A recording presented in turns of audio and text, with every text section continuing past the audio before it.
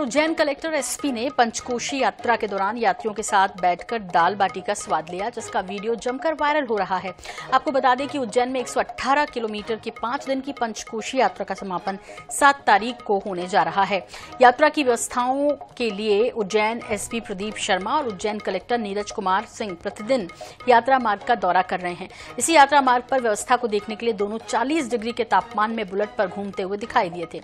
एक बार फिर दोनों का एक वीडियो सामने आया बार दोनों देसी अंदाज में ज़मीन पर बैठकर दाल बाटी खाते दिखाई दिए।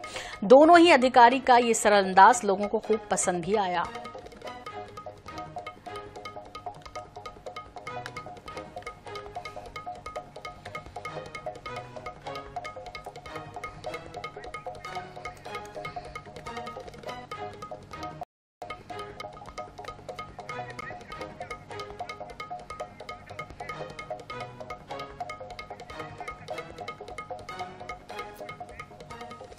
अगर आपको बता दें कि मौसम जो है वो लगातार बदल रहा है। एक बार फिर से बदलने की सूचना है।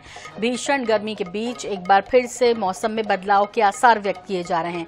आने वाले चार दिनों में प्रदेश के कुछ हिस्सों में हीट वेव तो कुछ इलाकों में बादल छाए रहने के साथ ही बारिश की भी संभावना व्यक्त की गई है। प्रदेश के पूर्वी हिस्से में तेज हवा के साथ हल्की बारिश हो सकती है। वहीं पश्चिमी मध्य प्रदेश में हीट वेव का अलर्ट जारी किया गया। मौसम विभाग के मुताबिक वेस्टर्न डिस्टर्बेंस एक्टिव है। साथ ही ये दो साइक्लोनिक सर्कुलेशन और ट्रफ लाइन भी है, जिसके चलते चलते बादल छाए रहेंगे और कुछ जिलों में बूंदाबांदी हो सकती है।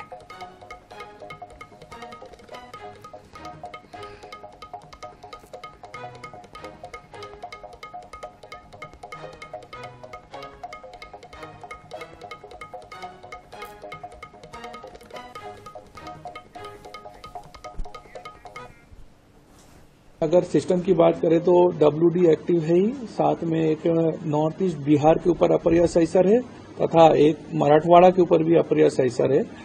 इसके वजह से सेकेंड डे और थर्ड डे में आपको रेनफॉल एक्टिविटी थोड़ा, अगर वेस्ट एमपी की बात करें तो नर्मदापुरम, बैतूल, हरदा भोपाल के साउथ पार्ट में